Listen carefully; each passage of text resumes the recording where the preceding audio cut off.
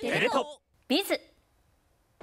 おととし8月小田急線の電車内で乗客3人を包丁で切りつけた罪などに問われている男の裁判で男が僕だけが貧乏くじを引いていると思ったと事件前の心境を語りました。無職の対馬悠介被告はおととし8月小田急線の電車内で女子大学生など乗客3人を包丁で切りつけた殺人未遂などの罪に問われています今日の被告人質問で対馬被告は周りの人は何不自由なく暮らしていて僕だけが貧乏くじを引いていると思い世の中への憎しみに変わったと犯行に至った心境を語りました。